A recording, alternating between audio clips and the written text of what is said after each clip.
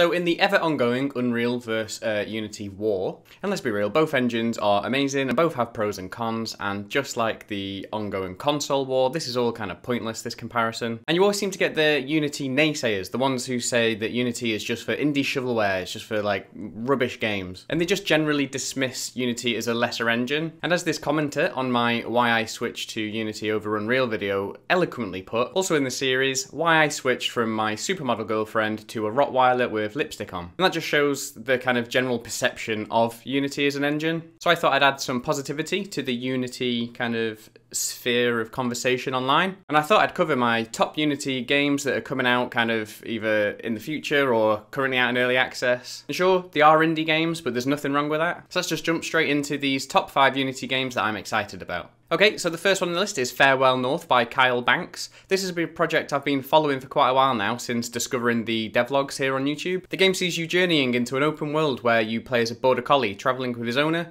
while you try to restore colour to the desolate islands of Farewell North. What really struck me with this one is the unique art style and the pushing colour ability that the player has to bring colour back to parts of the world. I specifically like the way that this isn't just a combat mechanic and actually ties into puzzle solving and that got me really excited. I always love it in games where there is a hidden world almost. Think Metroid Prime 2 Echoes, that was great for this and even Dishonored had a great uh, alternate reality ability too. I'll have a link below to Kyle's YouTube channel if you want to check out his devlogs. Uh, there's some really great stuff there and I think it really helps like show off exactly why this is such an exciting project. The next game on the list is Adapt. Now, quick disclaimer, I work for the publisher who's helping with the marketing for this game. I first saw this game on Twitter and Itch. So, Adapt is an evolutionary sandbox survival game in which you must guide your species through a constantly changing world, uh, where you compete with strange creatures for food and territory before finding your niche in the world. Paul, the developer, is putting his all into this project, and there's even a free demo on the Steam page which you can play right now. As with Farewell North, the art style is what drew me to this project. The kind of dreamy, Ghibli-esque visuals really help capture the imagination. And also, look at how cute the game's mascot, Red, is, even if he does look a little bit like Nigel Thornberry. Some people say Red looks like Nigel Thornberry, but I can't see it, oh my god.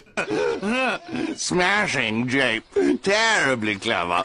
But again, if you want to see kind of what it's about at this very early stage, again, there is a demo available on Steam. Next in the list is Hollow Knight Silksong. Now, I think this is on every one of these list videos, and everyone is they think it's coming out and it hasn't, so I'm now adding to that. But this is definitely one of the most high profile, and most anticipated Unity games to date. Silksong is the sequel to the critically acclaimed Hollow Knight, and in this game you play as Hornet, the princess protector of Hallownest. The first Hollow Knight was a fantastic blend between the Metroidvania genre and the Souls games. It's got platforming, exciting combat mechanics, and lots of corpse running, obviously to go back to your body and grab your souls. And this all tied in with a fantastic art style which made for an amazing game. The sequel is looking bigger and better and really shows off the power of Unity as a 2D engine, and this is an area Unity just smashes Unreal. Like if you want to make a 2D kind of platforming game, Unity or Godot or an in-house developed engine is going to be much better for you than Unreal. Like Unreal, they've set their path, and that is 3D, high quality assets.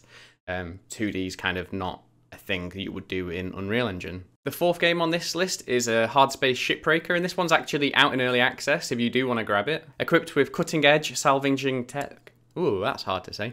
Equipped with cutting edge salvaging tech, you take on the role as a shipbreaker who is tasked with cutting and carving up ships to pay back your billion credit debt to the Lynx Corporation. Hardspace is quite an interesting one because uh, even though it's got this like low poly kind of painterly aesthetic, it does actually use Unity's high definition render pipeline. And this lets the team really push those visuals. And this also allows you to utilize the full power and potential of VFX Graph because um, some things are kind of locked off in the universal render pipeline in VFX Graph. And excitingly, they've even adopted Unity Dots, which is the data orientated technology stack. And this allows them to generate an endless supply of ships to break. They're all generated, textures populated, and everything at runtime, which is really cool. That's something Dots lets you do blazingly fast instead of the old way, which would have been very slow. It's currently in early access and it's just received a massive content, like story content update. Like Act 2 of the game is now out. So there's never been a better time to jump into Hardspace Shipbreaker. Shipbreaker. Ship. Per. Ship Breaker. And last but certainly not least is Timberborn.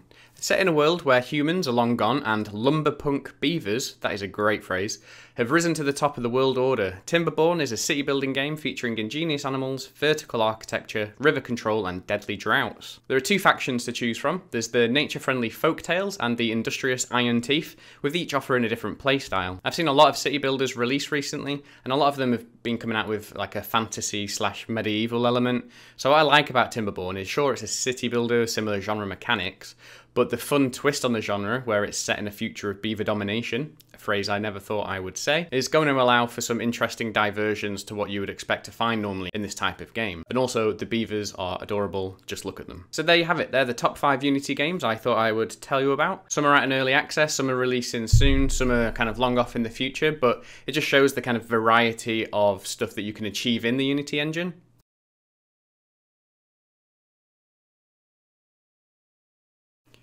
Just noticed my collar was tucked in, but I'm not going to re-record the video for such a small thing. I'm sorry.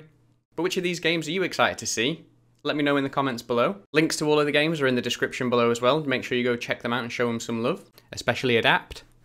If you'd like to get into Unity games development and become a Unity dev yourself, I've got some affiliate links in the description below to Udemy courses. Now, even though they're paid, these are great structured courses that'll take you to kind of like never having even downloaded Unity to making full-fledged games by the end of it. I would highly recommend them. That's kind of how I got started into my journey into games development. A journey which I'm still very much at the beginning of, but it's just an exciting future and it's those courses that help me kind of get inspired to do this. But in the meantime, thanks for watching and I will see you in the next one. Bye. Ooh.